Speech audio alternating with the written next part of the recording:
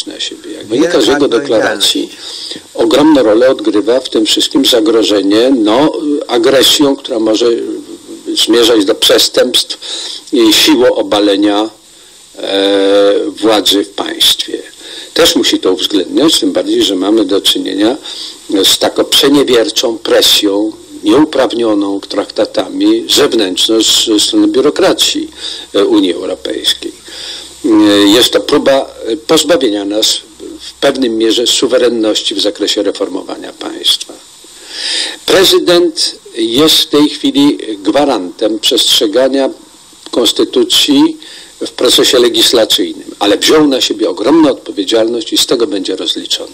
A jeżeli jesteśmy w sytuacji, gdy została podpisana ta ustawa o ustroju sądów powszechnych, to co będzie teraz z odwoływaniem, z możliwością odwoływania prezesów y, sądów? Czy bez y, tych dwóch ustaw nie będzie to możliwe w ogóle? Będzie to możliwe na podstawie tej ustawy, którą podpisał. I to jest bardzo ważne. To musi dotrzeć do nas wszystkich.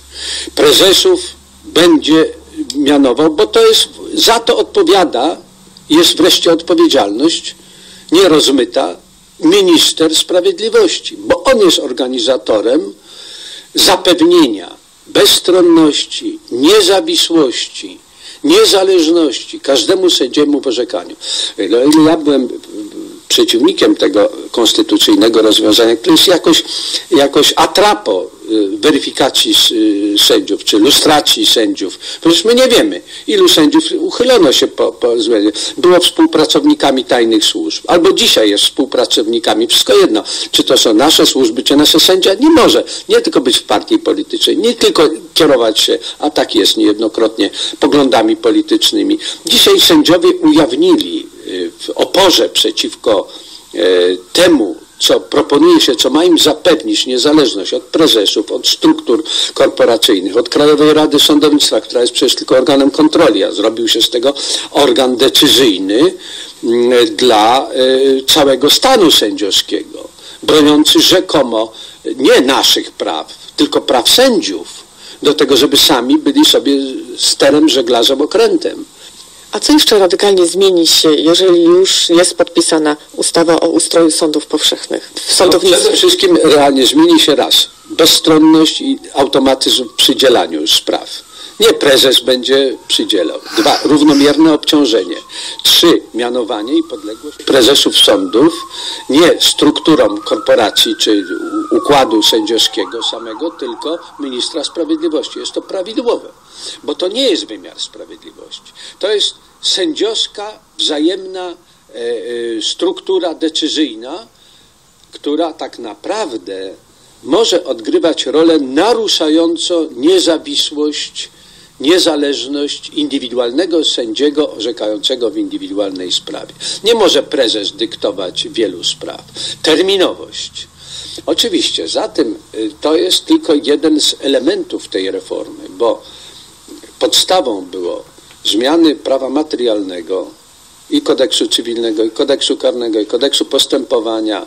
Jeszcze ten ustawa o Sądzie Najwyższym tam ingeruje w cały szereg ustaw, także dzisiaj zawetowanie ustawy o Sądzie Najwyższym jest zawetowaniem jednocześnie całego systemu zmian w innych przepisach. Ja jestem rzecznikiem tego, żebyśmy w ramach dobrej zmiany podjęli jednocześnie mm, uchwalenie nowego kodeksu cywilnego. Ten kodeks cywilny jest z 1964 roku, kilkadziesiąt razy, razy nowelizowany i ciągle formalizowany.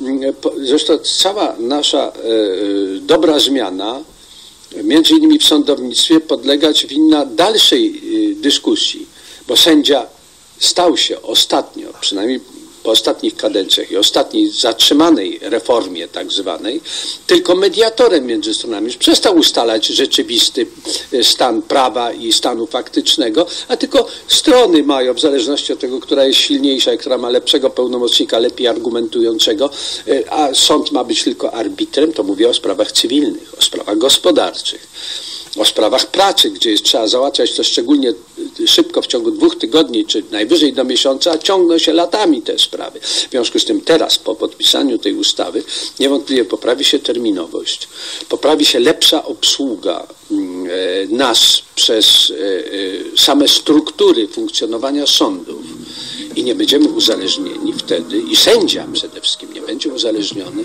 tak dalece od prezesa i od e, nadrzędnej e, decyzji w zakresie e, stosowania procedur przez administrację sądowniczą, prezesów, dyrektorów biura, to wszystko przejdzie w odpowiedzialność ministra. I teraz dawniej mówiliśmy złe sądy, a dzisiaj będziemy szli do ministra sprawiedliwości. Dzisiaj to jest Ziobro, jutro będzie pan i Ksiński z tego czy z innego układu, ale on będzie odpowiadał za złe funkcjonowanie obsługi wymiaru sprawiedliwości.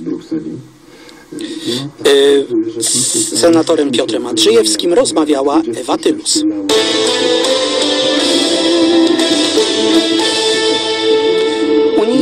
Komisarze zdecydowali o wysłaniu do Warszawy nowych rekomendacji w sprawie reformy, reformy wymiaru sprawiedliwości. Poinformował o tym pierwszy wiceprzewodniczący Komisji Europejskiej Franz Timmermans na konferencji prasowej w Brukseli. Jak mówił, ustawy przyjęte przez polski parlament miałyby bardzo zły wpływ na niezależność wymiaru sprawiedliwości i zwiększyłyby zagrożenie dla litery prawa. Zdaniem Pawła Kowala, gościa, gościa Polskiego Radia 24, polski rząd nie powinien lekceważyć presji Zachodu ani tego, co mówi do, do Polski Komisja Europejska. Nie możemy żyć w przekonaniu, że Zachód nic nam nie może zrobić, mówił Kowal. Sprawę komentowali goście dzisiejszej debaty poranka, dziennikarz TVP i Gazety Polskiej Michał Rachoń oraz dziennikarz i publicysta Rafał Zienkiewicz. Ja odbieram weto prezydenta jako też zapobieżenie pewnym naciskom na Polskę, które by następowały, gdyby ta ustawa weszła w życie. No, to dlatego, Ale to naciski są, bo Timmermans krytykował tę ustawę, nawet którą podpisał pan Naciski prezydent. są, znaczy oczywiście naciski są, bo to jest inny problem, że nie mamy jakiegoś uczciwego dialogu z Komisją Europejską, tylko mamy tam no, ludzi starających się oddać przyjacielską przysługę swoim kolegom z IPP tak zwanej, czyli tej międzynarodówki chadeckiej, bo to się Platforma Obywatelska w Europie nazywa HDK. Nie wiem na czym polega chrześcijańskość tej chrześcijańskiej demokracji, ale powiedzmy, że taka jest tradycyjna nazwa w Europie. Także w, jest jednak inna sytuacja, kiedy pan Timmermans mówił to, co mówił wczoraj po wecie prezydenckim, tak jakby o nim nie wiedział. Prawdopodobnie nie wiedział, bo to ja to w ogóle uważam za kompromitację Komisji Europejskiej, że wysoki urzędnik straszy uruchomieniem ważnej procedury, ewidentnie nie mając pojęcia o czym mówi, bo on po prostu mówił o jakichś czterech ustawach w Polsce, mówił po prostu o, O skracaniu kadencji Sądu no, to, to, co już jakby zostało zawetowane, co, co w ogóle nie jest na stole i nie chodziło o skracanie kadencji Sądu Najwyższego, tylko o możliwość ewentualnego jednorazowego przeniesienia sędziów, ale tego i tak nie ma, a on zdaje się zrozumiał, czy ktoś mu wytłumaczył. Tutaj wskazują niektórzy na posłankę Różę Tun, że to ona miała być, e, przepraszam, tam Tun von coś tam już zapomniałem.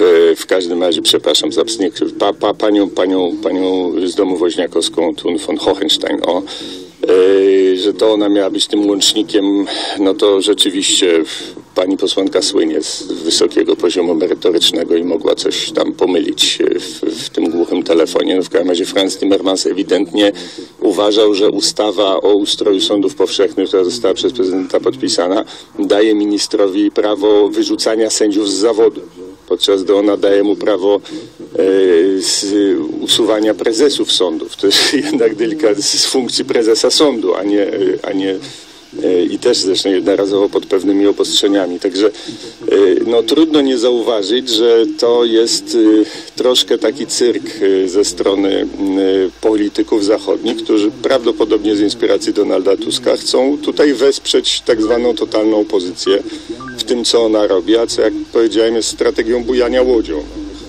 W zasadzie nie chodzi o żadne sprawy merytoryczne, ani o Trybunał Konstytucyjny, ani o Sądy Najwyższe, ani o wolność słowa, która była hasłem grudniowego puczu, jak go teraz już otwarcie nawet Grzegorz Schetyna nazywa. Tylko chodzi o to, żeby tę łódź rozbujać, żeby ją przewrócić, a nuż się uda doprowadzić do jakiegoś kryzysu, a nuż się uda doprowadzić do jakiegoś przesilenia wcześniejszych wyborów, a nawet Przecież ciągle publicznie te rojenia są powtarzane o jakimś milionie ludzi, co to wyjdzie na ulicę i, i władzę zmieni, prawda? E, e, więc w, tutaj się po prostu politycy europejscy angażują w polski spór polityczny i, tu się, i, i trudno się zgodzić z Pawłem Kowalem, że w takim razie my się mamy liczyć. No, ale trzeba Natomiast trzeba się grać, liczyć dłużej klasztora niż przeora i rzeczywiście nie nie dawać łatwych pretekstów do ataku na Polskę. No wiadomo, że te ataki będą, tak samo jak będą demonstracje uliczne, ale demonstracje uliczne czasami są potężne, tak jak były, no duże powiedzmy, potężne to może przesada, ale duże, tak jak były w, w, przed zawetowaniem przez prezydenta ustaw, a czasami przychodzi pan Kasprzak z grupą świrów i też jest demonstracja uliczna. To zależy od tego, jakie się da paliwo. Da, chodzi o to, żeby nie dawać paliwa ani Komisji Europejskiej do jakichś nacisków, które rzeczywiście mogą być skuteczne, bo to co mówił pan Timmermans, to jest tylko straszenie wymachania nienabitym pistoletem e, i nie należy też dawać pretekstu do wyprowadzania ludzi na ulicę takiego, który może sprawić, że oni rzeczywiście na tę ulicę. Ale rozmawiając z Unią e, Europejską i prowadząc spór wewnątrz Unii Europejskiej, e, oczywiście, że należy partnerów traktować poważnie. To jest stan prawny, to jest stan polityczny, w którym jesteśmy.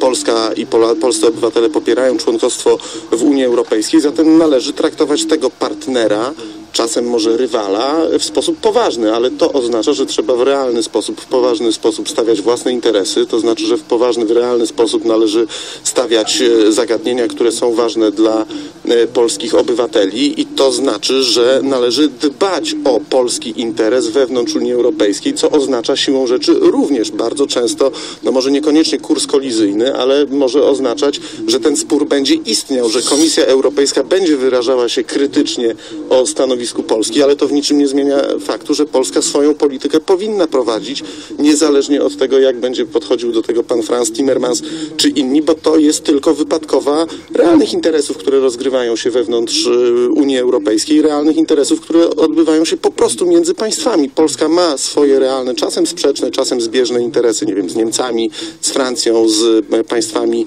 e, naszego regionu i te interesy należy realizować, również licząc się z tym, że one będą powodowały takie, no w, moim ocenie, w mojej ocenie, kuriozalne konferencje, jak ta konferencja e, Fransa Timmermansa, bo on tam popełnił całą masę no, jakichś błędów, totalnych niekonsekwencji, no, zwracanie się do rządu, że rząd ma zmienić ustawę w czasie, kiedy to nie rząd ustawę zmienia, większość parlamentarna i tak dalej, i tak dalej.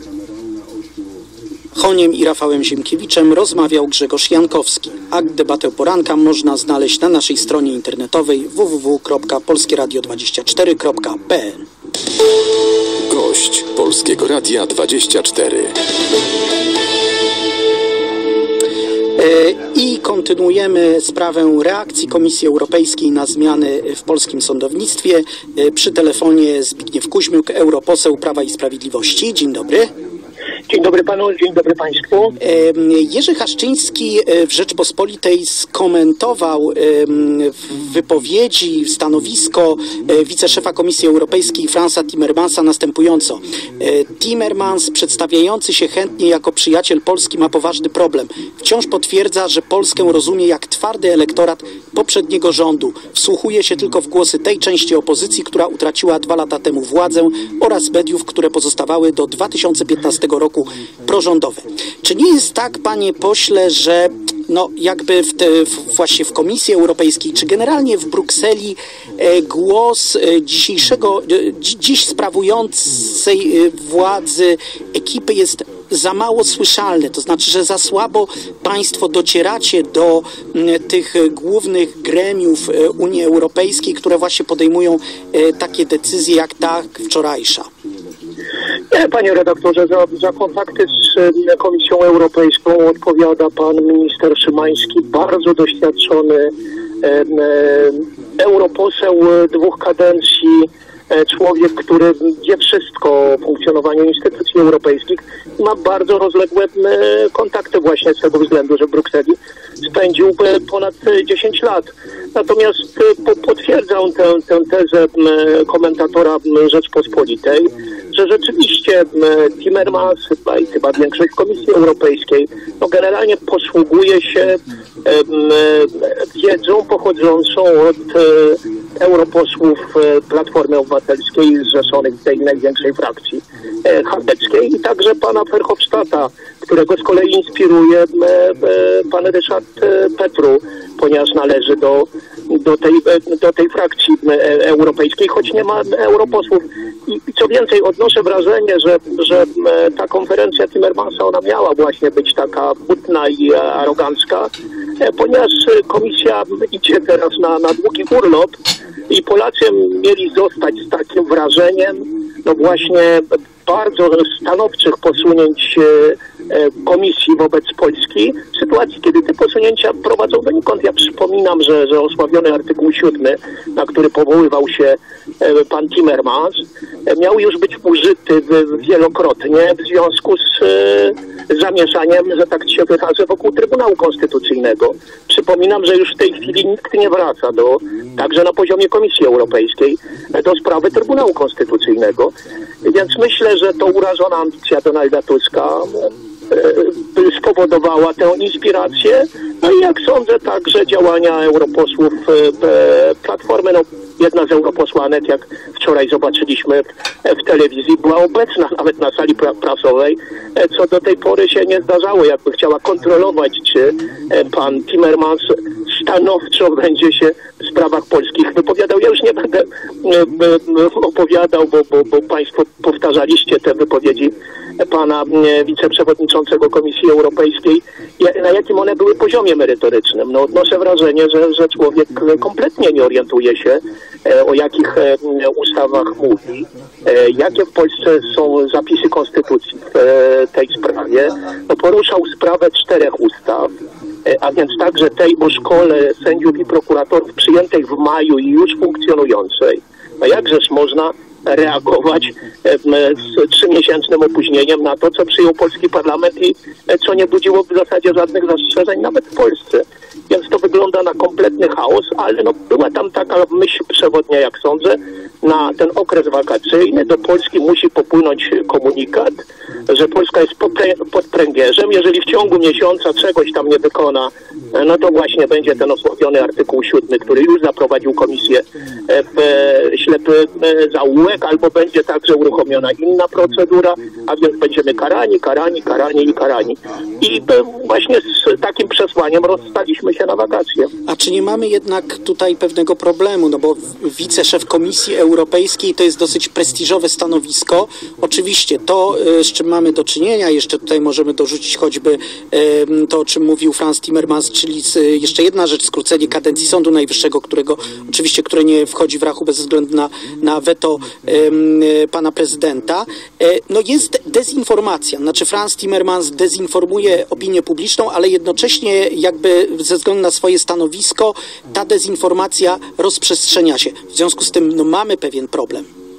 Panie redaktorze, ja myślę, że, że, że polski rząd, tak jak rzeczywiście, jeżeli Komisja Europejska, tak jak mówił wczoraj pan Timmermans, wystąpi rzeczywiście e, z tą prośbą o wyjaśnienia, e, które mamy przedstawić e, w ciągu jednego miesiąca w tych, w tych wszystkich czterech sprawach, to myślę, że to rzetelne wyjaśnienie zostanie przedstawione. Zresztą tak jak z tego co wiem, bo pan minister Szymański wtedy, kiedy jest w Brukseli regularnie, spotyka się z europosłami, zresztą wszystkich partii politycznych, co jest ewenementem, bo w poprzedniej kadencji absolutnie takich spotkań ministrów Platformy i PSL-u nie, nie, nie było.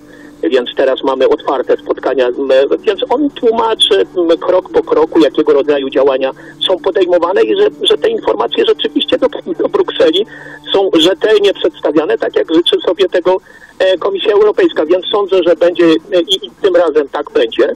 Natomiast jeżeli rzeczywiście w wyniku tych wyjaśnień, powiedzmy we wrześniu, bo jak sądzę Komisja po raz kolejny może się zająć polskimi sprawami we wrześniu, znowu pojawią się tego rodzaju komunikaty, to myślę, że polski rząd powinien zażądać od e, pana Junckera zmiany komisarza, który zajmuje się polskimi sprawami. Bo ewidentnie e, komisarz Timmermans e, bardzo nie lubi obecnej większości rządzącej i jest tak tendencyjny, e, że to widać, słychać i czuć. Im jest taka zmiana możliwa? Myślę, że tak. Jeżeli rząd naprawdę twardo się w tej sprawie postawi, to, to myślę, że, że taka zmiana jest możliwa. Wiceprzewodniczący komisji jest kilku. W związku z tym być może e, potrzebny jest e, człowiek, który będzie miał do tego nowego rządu e, inny stosunek, powiedzmy neutralny. M, E, Rozmówcą Polskiego Radia 24 był Zbigniew Kuźmiuk, europoseł Prawa i Sprawiedliwości. Dziękuję bardzo. Dziękuję bardzo. Reklama. Z dekretu Napoleona w hipermarketach Carrefour ma być super rabat na wszystkie baseny, aż 50% w postaci e-bonu na kolejne zakupy. I tak od piątku 28 lipca do niedzieli 30 lipca. Regulamin na carrefour.pl Carrefour wszystko dla Ciebie. Praktycznie codziennie stopy każdego z nas są narażone na kontakt z grzybami i bakteriami. Dlatego warto sięgnąć po kosmetyki linii Stepper. Aerozol Stepper skutecznie pielęgnuje i chroni skórę dzięki zawartości aż czterech składników aktywnych. Dodatkowo Stepper łagodzi podrażnienia, pieczenie i swędzenie. Z kolei do paznokci przeznaczony jest sztyft Stepper. Wspiera on ich odbudowę oraz pomaga w przywróceniu ich naturalnej barwy. Stepper. Idealne rozwiązanie dla stóp narażonych na kontakt z grzybami i bakteriami. Do zakupów? Gotowi? Start! W Media Expert ruszyła wielka wyprzedaż. Telewizory smart, laptopy, smartfony AGD. Kto pierwszy, ten lepszy. Media